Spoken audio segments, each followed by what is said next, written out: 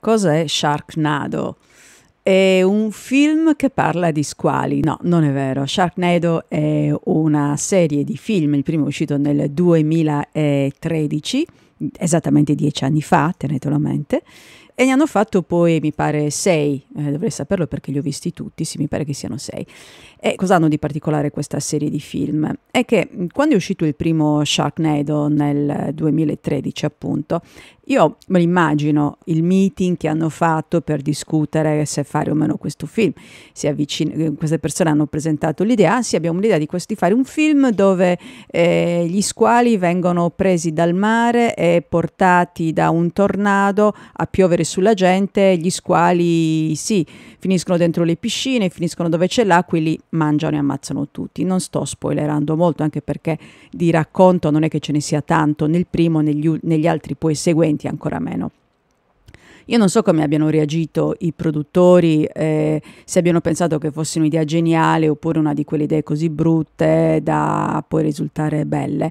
Sta di fatto che il primo Sharknado ha una qualche velleità di, non dico uh, che vuole sembrare reale, che vuole verosimi- verosimiglianza, ecco non mi veniva la parola, ha mh, mm, qualche così sentore di verosimiglianza che una persona se proprio, proprio, proprio la, la tira, cioè dice vabbè sì, una cosa del genere potrebbe succedere.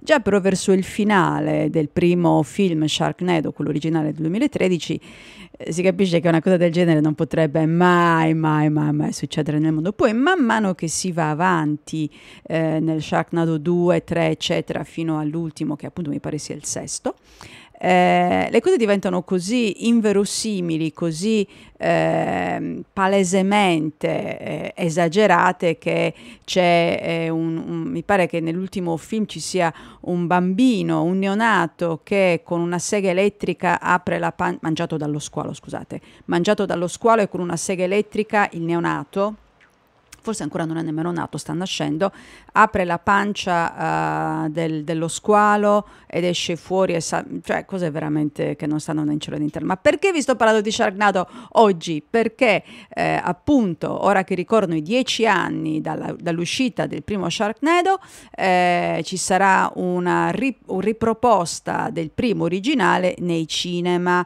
completamente rimasterizzato, con nuovi effetti sonori mai visti, eh, effetti visivi mai visti prima, eh, niente, quindi sarà di nuovo al cinema e sicuramente sarà una bella esperienza andare lì tutti insieme, yeah, gridare ridere. Per una volta tanto parlare e ridere a voce alta al cinema sarà concesso, non solo ma anche auspicabile.